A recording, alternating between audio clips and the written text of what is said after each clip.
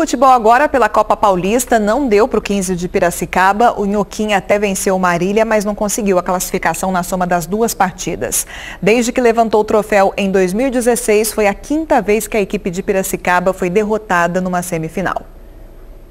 Numa tarde muito quente aqui no Barão de Serra Negra, o 15 entrou em campo sabendo que não podia dar bobeira, porque veio para o segundo jogo em desvantagem. Precisava vencer de dois gols de diferença para levar para os pênaltis ou de três para classificar direto. Na primeira etapa, alugou o campo do Marília. Começou buscando o jogo. Em menos de dois minutos, depois de uma sobra na área, Matheus Silva chutou, mas o goleiro defendeu.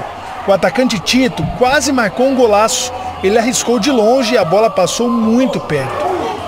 O Marília pouco ia para o ataque. O lance mais perigoso foi nesse chute de fora da área do camisa 10, Luan Gama. Depois de um passe preciso, o zagueiro Renan Dutra até balançou as redes, mas estava impedido. Sem conseguir marcar, o Nhoquim foi para o intervalo com a mesma desvantagem.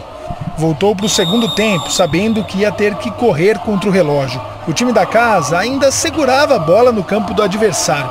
Tentava aproveitar os escanteios. Teve a chance de abrir o placar com camisa 9 Tito, mas ele parou no goleiro Igor Costa. Enquanto isso, Marília se segurava lá atrás. Mas depois de receber um bom passe, Fabinho chutou cruzado e marcou.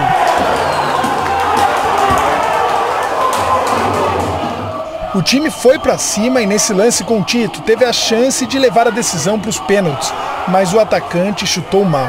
Final de jogo 1 a 0 e quem avançou para a decisão foi o Marília. A vitória veio, mas não o resultado necessário para levar o time para a final do campeonato. O 15 pressionou o Marília, buscou o jogo, mas não conseguiu tirar a vantagem do adversário. Com a eliminação, a equipe agora encerra o ano e espera a Série A2 do Paulista para lutar pelo acesso da divisão principal. Daqui para frente agora é juntar os cacos e dar continuidade a esse trabalho aí. O nosso objetivo agora é já começar a se preparar para essa Série A2 e colocar o 15 é, de volta na Série A.